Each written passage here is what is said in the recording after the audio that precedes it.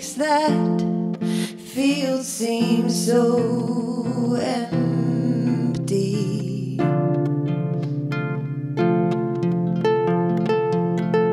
When in fact it has families, communities, societies.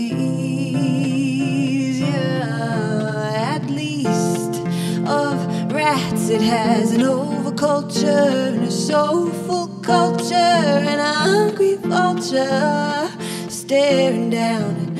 You gotta walk that field to reach her house.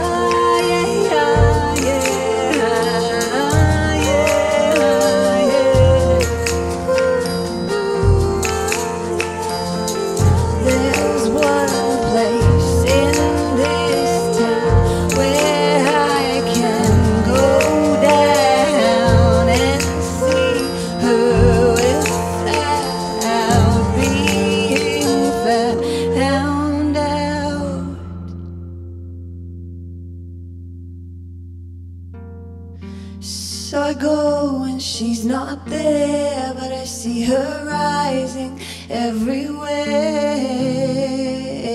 from the earth in little bursts of gold. And I'll take her jar of calendula steeped in honey thick like gold tar, and I'll ask her a question, even though she is not here. Take her jar of calendula steeped in honey thick like gold tar, and I'll ask her, How do you know when you know?